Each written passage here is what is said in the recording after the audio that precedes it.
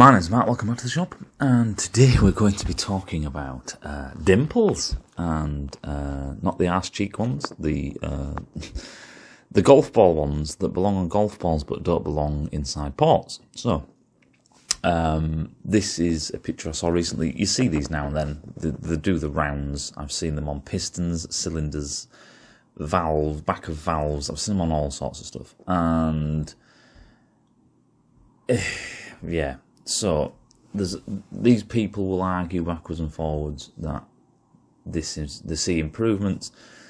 People do not generally know how to um, differentiate the difference between an improvement and just test variability.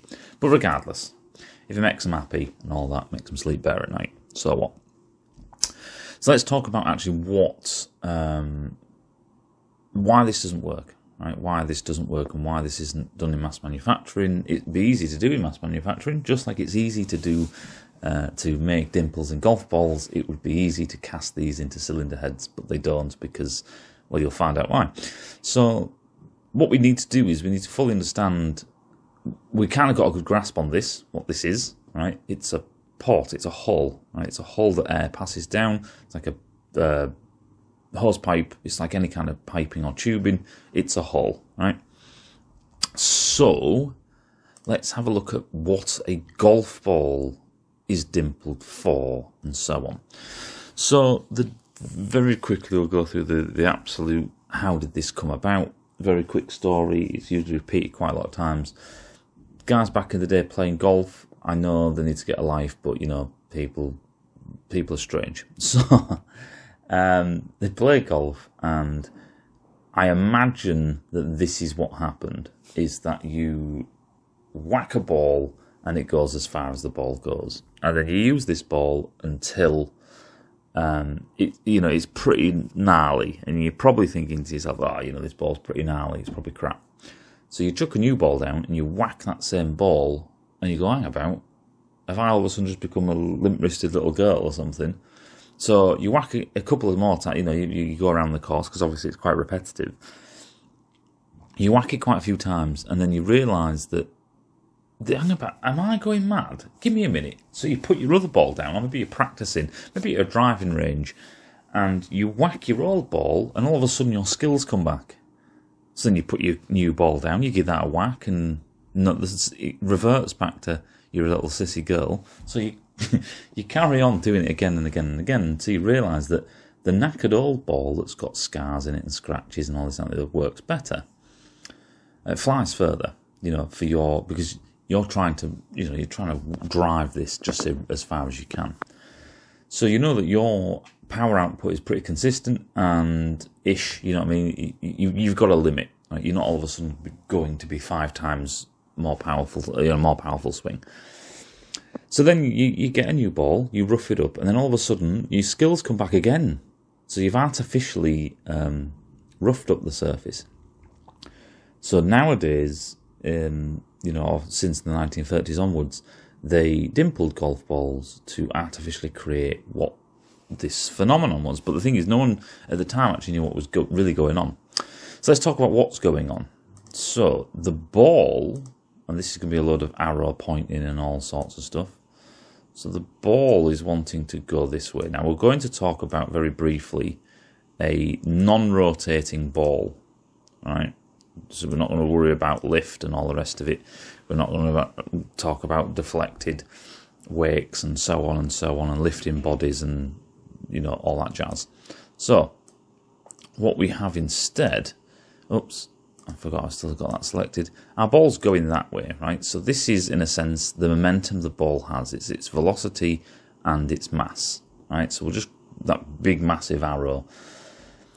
Then what we've got is we've got air that we collide with. Now the air's velocity, uh, the air's velocity is in that direction, that direction, that direction, that direction, that direction, that direction, that direction, that direction, that direction. In the 3D world, it's everywhere, right? Um, because it's just air and it sits there and bobs along at a good 500 meters per second, blah, blah, blah, blah.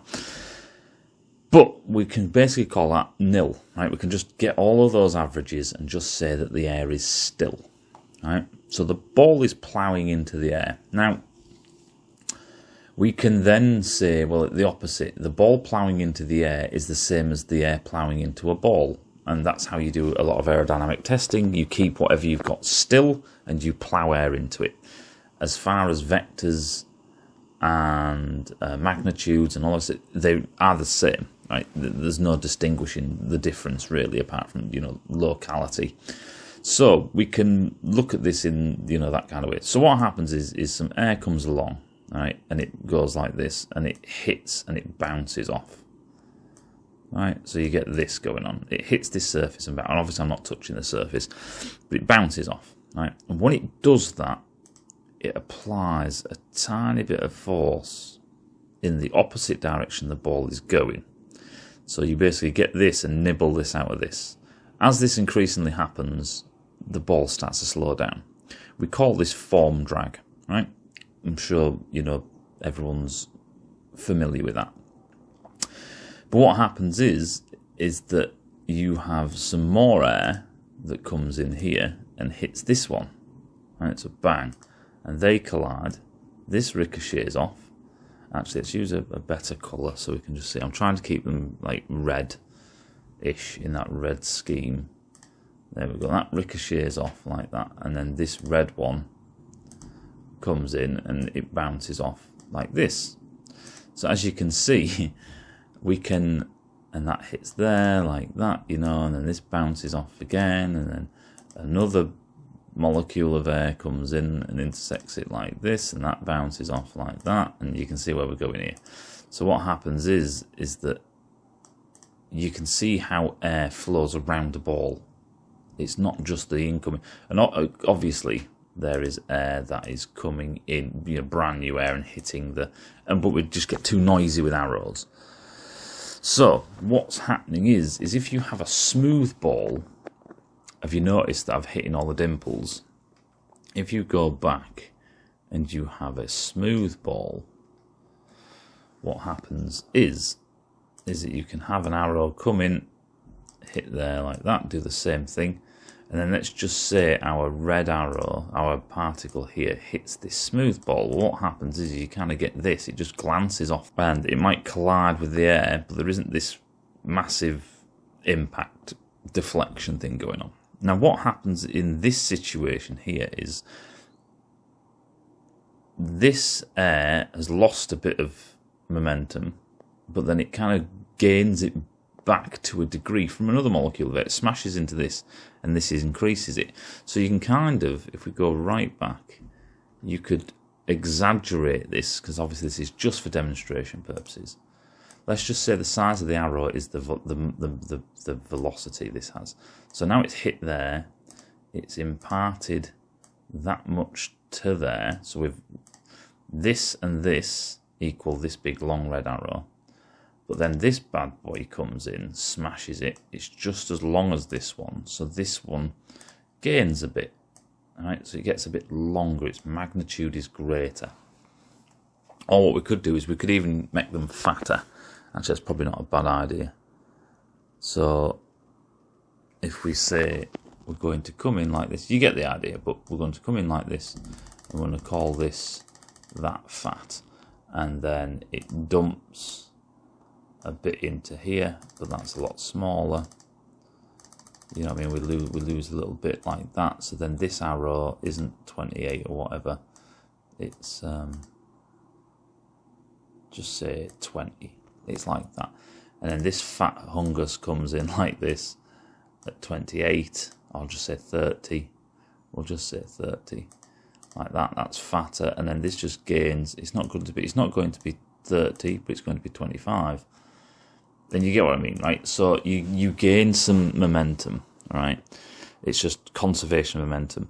So what happens is is that this this air that's bouncing around the skin of the ball, this boundary layer, is kind of picking up momentum from the air around it because it's been flung. There's turbulence, right? It's been it's been mixed in. That's what's going on. It's been mixed in with the air around it, which means if the air is travelling slow, right, it can't. The ball is travelling really fast, or the air is travelling as a flow flat fast. What happens is, is as you get round to the back, if you're travelling too slow, the ball has moved. So that's probably a best way to basically signify that.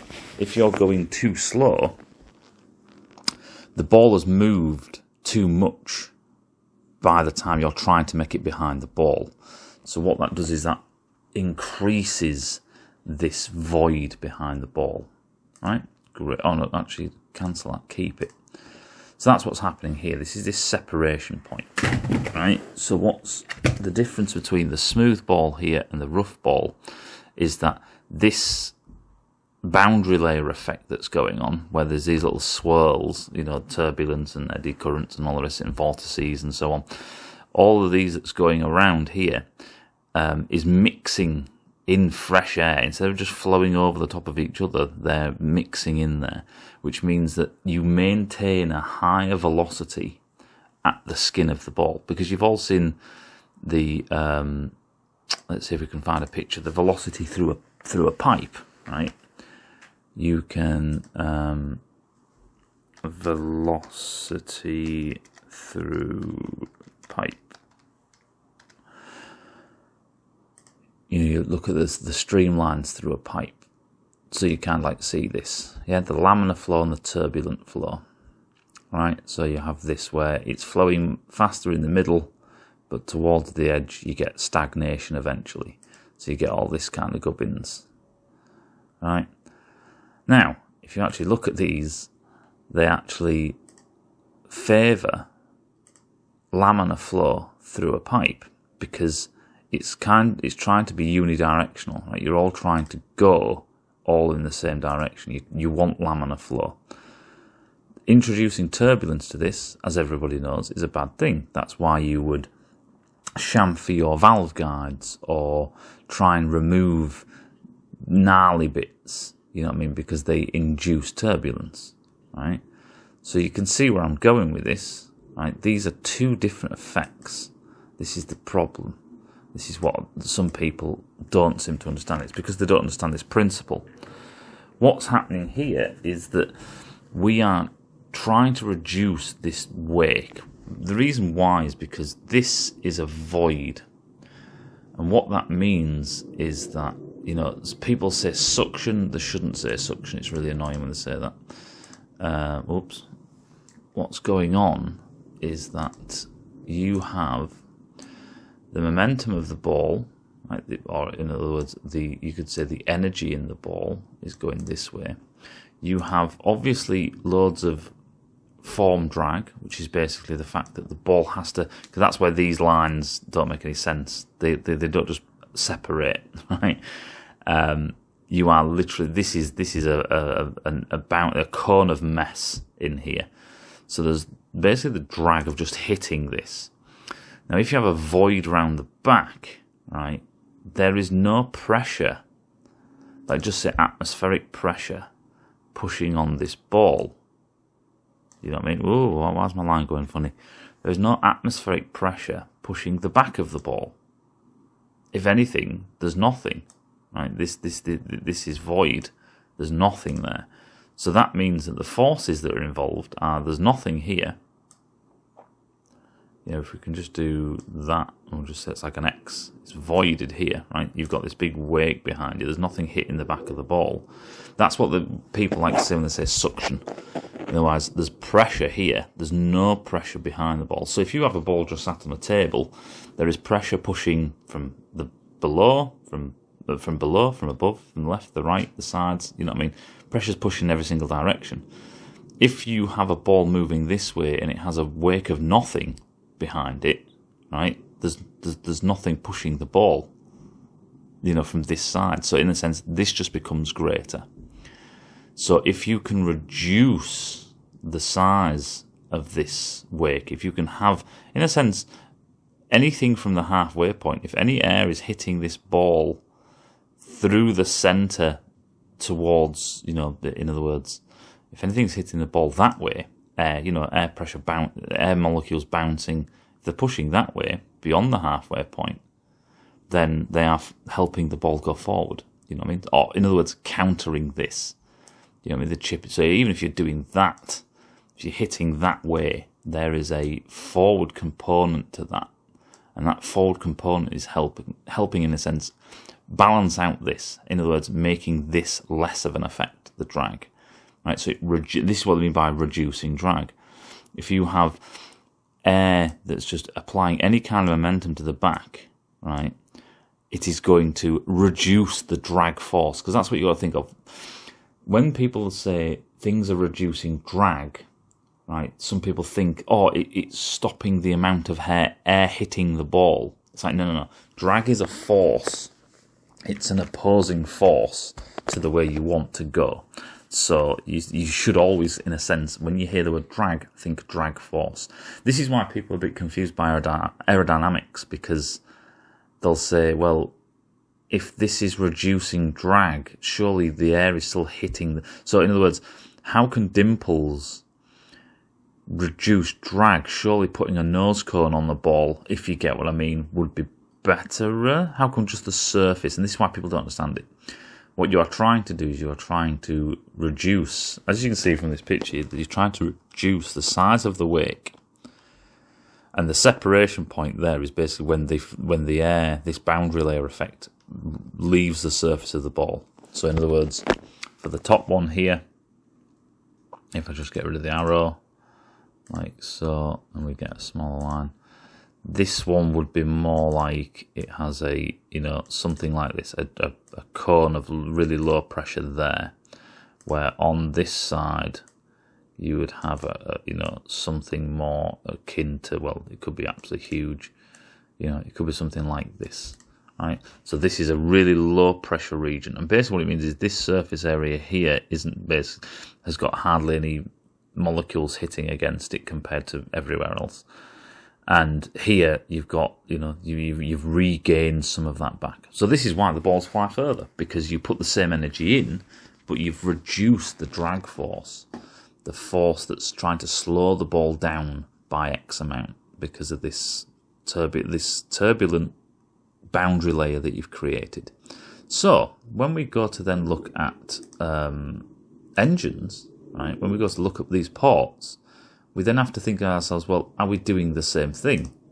Oops, I'm pressing the wrong thing. So the way that the ball flies further is not because you've made the ball slippy, it's because you've used the air that's already around you to reduce the drag force. So the thing that is slowing the ball down. The ball goes faster, not the air. The ball goes faster because it's losing less energy per unit time, right? This is a cross section of the H2R engine. It's you know one of the the the, the it, it's the pinnacle of normal combustion engines without any weird stuff like Formula One just say. So you can see here that our port, so this is our uh, throttle body, you can see the throttle plate there, you can see the injector there, and it's coming down into here. As you can see, from the this the, the, throttle plate is a restrictor. It's literally what its job is to do. It's to restrict air, and then it's there when you go full throttle. It's hopefully providing very little restriction. When this opens, the air floods into here, right? And we're hoping for laminar flow, and it goes straight in. Oh, there's a tiny little bend there, a tiny little radius there, but we're going straight in, right? And the other problem is there's a giant big bloody valve in your way.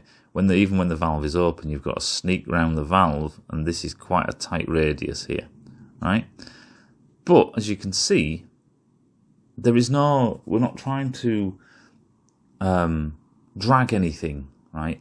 We are not trying, with a golf ball, we are not trying to speed up the airflow around the ball because the air is still and the ball is going through the air. What we are trying to do is we're trying to make sure by a, a surface texture that the air is flowing round the ball more completely. That's not what this is. That's not what this is. And they've spent so much money on this engine that they would dimple the crap out of this if it had any benefit, because this is literally a pinnacle bike. This is a pinnacle engine. This is getting into the realms of MotoGP and, and, and Formula One kind of type engines. It's getting in the realms, especially for mass produced. So this is the whole point, right? Is that you, you're not trying to mitigate the drag, right? Because we're not trying to reduce how slippy the surface is. You know what I mean? We're not trying to make the coefficient of friction, just say, or the form drag, or the skin drag of the ports or a golf ball. We're not trying to make it slippier. What we are trying to do is we're trying to mitigate or reduce the amount of force against the ball by trying to equalize it out by regaining some of the pressure that's now missing in the wake of the ball. Right? That's what we're trying to do. That isn't this. The air flowing through this, if you have dimples, is not going to speed up or do, if anything, it's going to slow down, right? Because you're creating turbulent flow. Now, there are people that say, ah, but you're missing the point here. What we're trying to do is we ha- we have fueling problems, right? So let me just I'll show you. I'll show you the problem with what people say. I'll explain it a bit better than that, and then um, so we'll we'll put this picture in. Yeah, whatever. Uh, we'll put this picture in. Oops. Oops. Oh, for God's sake. Give me one second. Copy that image. And then paste it. There we go. Right, so people say, oh, well, no, what we have is we have fuel um, that's in in the port still, right? So let's just say that we put into the engine. Um, let's just say we go like this. For every one, two, three, four, five balls of fuel, right? We put it fuel air we put into the engine. One of those right? One of those gets wetted on the port, yeah, because of the surface. And if we have dimples, it mixes, right? So you've got this situation going on, and what they what they what they're talking about is that a bit of air, a bit of the fuel evaporates into the flow, and the flow picks up and takes it into the port. Let's just say that's a thing. So let's just say we put five molecules of fuel into this cylinder. But because of the port wetting, just say one of them gets left behind. So now we've got four in here. Right? Cool. I get it. So then the next intake stroke happens, right? And we have another five go in, but one gets left behind. And then we've got another four in here and it burns and everything seems normal. Yeah, and then the next time, another port like this, and then we've got another four in there. Great. And you can see what's what I'm getting at here, right? Is that eventually what's going to happen is that the port is going to become saturated in fuel, and the engine is going to leak out. It's going to choke out because it's too rich. Does this happen? No, it doesn't. It doesn't happen. It just it doesn't happen. Let's just say you were right. Right? Let's just say five units of fuel go in, but one gets stuck to the port, and then this happens. Right? Then what happens is is you spray some more fuel into your cylinder, right? And this one goes in, and then it gets replaced by the next injection event, that one, and then we've got another four here like this, right? It's wonderful, I get it. And then after that, the same thing happens again. Is that whatever's in here ends up going into the cylinder maybe on the next stroke.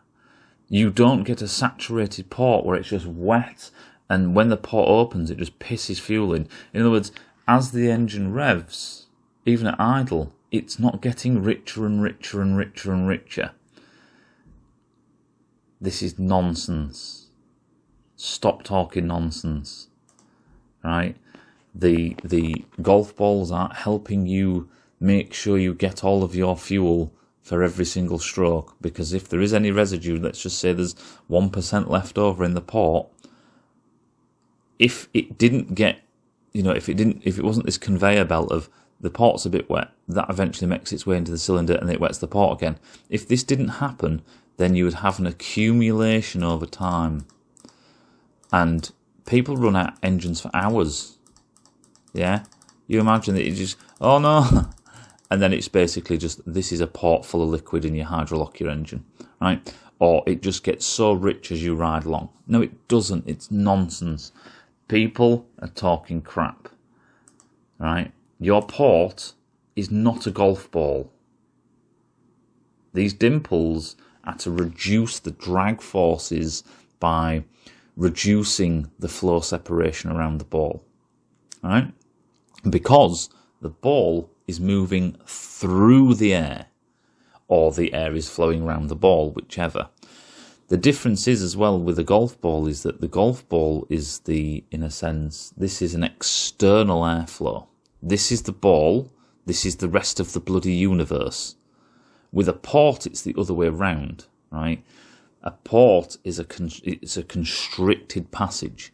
The air goes in one end and comes out the other. Now, how it comes out of there, how turbulent that is, or how lam- laminar that is, is that's how well it flows through it. If you put a nice 140 degree bend in there, you're going to slow the crap out of it.